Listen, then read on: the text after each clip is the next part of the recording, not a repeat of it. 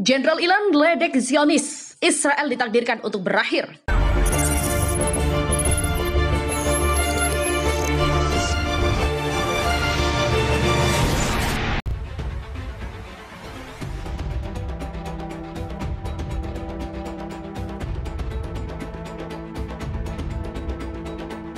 Komandan pasukan Dirgantara IRGC Brigadir Jenderal Amir Ali Haji Zadeh meledek rezim Zionis dengan menyebut Israel ditakdirkan akan berakhir. Israel dan Iran saling mengumbar ancaman untuk menghancurkan satu sama lain di tengah ketegangan yang semakin memanas.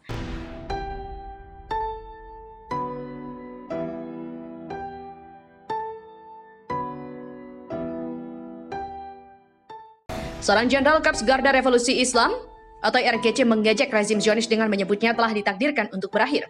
Kepala Staf Pasukan Pertahanan Israel atau IDF Afif Kohafi memperingatkan pada selasa lalu bahwa militer meningkatkan persiapannya untuk kemungkinan serangan terhadap fasilitas nuklir Iran. Kemudian, Menteri Pertahanan Benny Gantz mengatakan Israel akan melakukan operasi yang belum pernah terlihat di masa lalu jika perang regional benar-benar pecah.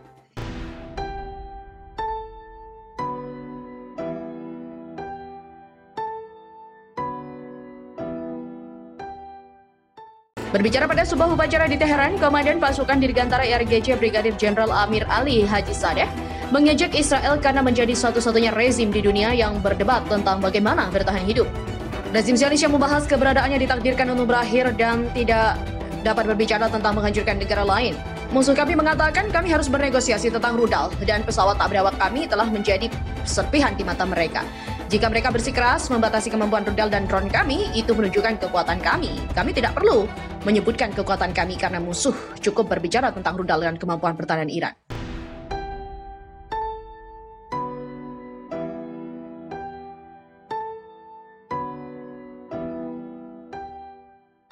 Pada kesempatan yang sama, Jenderal Iran itu sebelumnya juga menanggapi pernyataan baru-baru ini oleh pejabat Israel yang akan menyerang fasilitas nuklir Teheran. Angkatan Udara Israel diperkirakan akan melanjutkan latihan untuk menyerang program nuklir Iran. Pada bulan Januari, Kahafi mengumumkan bahwa dia telah menginstruksikan militer Israel untuk mulai menyusun rencana serangan baru untuk menyerang fasilitas nuklir Iran dan bulan lalu.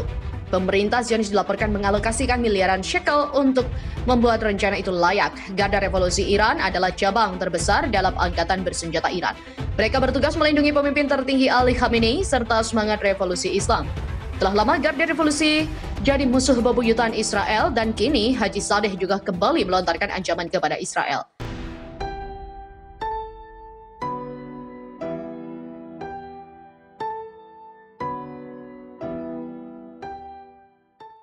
Dia mengatakan, segala bentuk tindakan permusuhan yang dilakukan Israel kepada Iran tak akan ditolerir. Dia juga memastikan, jika Israel berulah, maka negara Yahudi itu akan lenyap dalam waktu dekat. Komentar Haji Zadi adalah respon dari pernyataan Kepala Pasukan Pertahanan Israel Afif Kohafi. Beberapa waktu lalu, Kohafi menyebut IDF sedang mempercepat rencana militer untuk menangani Iran. Kondisi semakin panas setelah Benhan Israel Benny Gantz menyebut Israel tengah mempersiapkan serangan ke Iran yang belum pernah terjadi sebelumnya. Haji Sadeh menegaskan serangan Israel ke negaranya juga akan berakhir percuma sebab dengan sekuat tenaga rakyat dan militer Iran akan melawan tindakan Israel. Israel mungkin akan memulai pertempuran tapi Republik Islam akan mengakhirinya dengan melenyapkan rezim Zionis.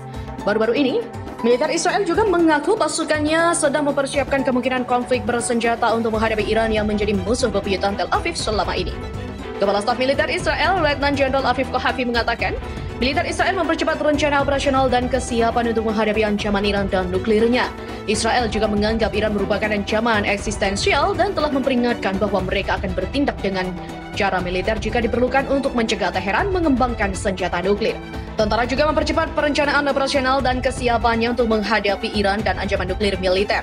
Kata Kepala Staf Angkatan Darat Israel Letnan Jenderal Afif Kohafi kepada Komite Urusan Luar Negeri dan